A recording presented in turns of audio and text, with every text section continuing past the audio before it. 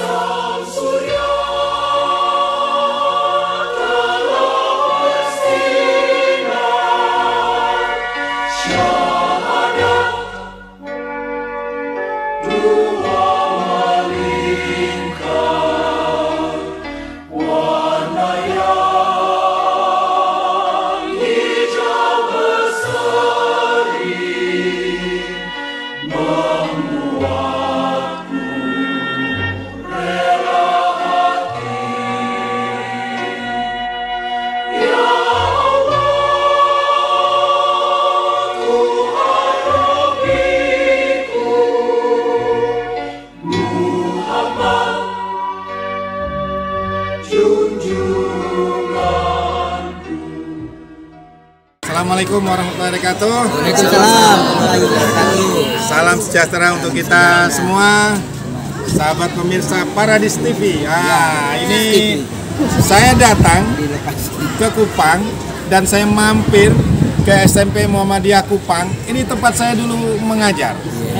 Dan alhamdulillah kalau ah, teman-teman melihat di sini SMP Muhammadiyah sudah sangat maju. Dan ah, hari ini Nah, yang jadi kepala sekolah adalah Pak Eko. Pak Eko sedikit saya wawancara nih. Eh, misi daripada SMP Muhammadiyah Kupang itu seperti apa? Tentunya kalau Muhammadiyah kita bicara tentang karakter, akhlak dan lain-lain. Boleh disampaikan Pak? Visi yang pertama visi itu adalah menghasilkan manusia unggul dalam intak, intek, serta berkarakter. Iya. Kemudian ada menghasilkan siswa-siswi yang berakhlak karimah, kemudian juga menguasai ilmu pengetahuan dan lain sebagainya. Oke.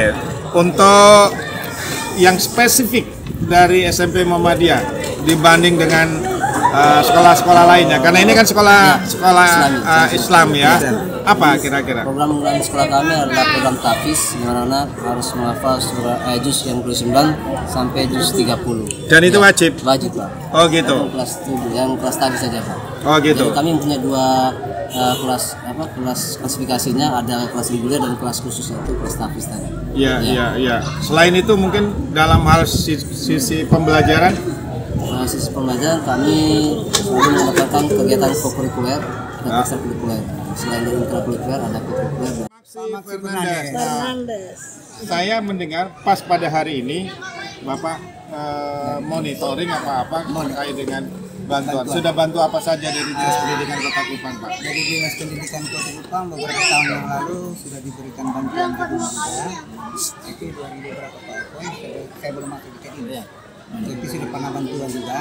Tapi 2022 itu alhamdulillah ada begitu banyak paket bantuan yang diberikan, baik itu um, melalui apa buku-buku, kemudian Chromebook, uh, laptop, kemudian hari ini kita monitoring untuk gedung ini kita Oh, gedung ini. Dibongkar. Ini gedung mau diapain? dibongkar. Oh, dibongkar. Waduh.